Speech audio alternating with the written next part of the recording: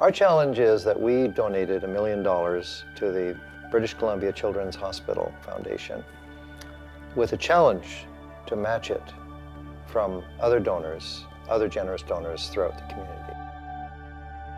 In India, it's a saying, it's called Vasudhaiva Kutumbakam.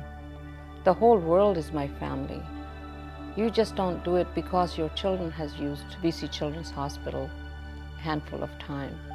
It's the whole province The children of all races, they are being benefited by BC Children's Hospital. You can't take anything with you when you go, but while you're here, you can enrich the lives of others. इस संसार में हम लंबे समय के लिए नहीं आए हैं अगर हम किसी की मदद कर सकते हैं किसी ऑर्गेनाइजेशन की मदद कर सकते हैं किसी सोसाइटी की मदद कर सकते हैं, किसी इंसान की मदद कर सकते हैं, किसी बच्चे की मदद कर सकते हैं, हमको करनी चाहिए। हमको कोशिश ज़रूर करनी चाहिए।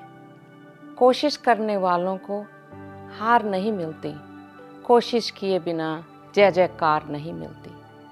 आप कोशिश करो, आपसे जितना भी हो सकता है, आप बच्चों के अस्पताल को सपोर्ट करो।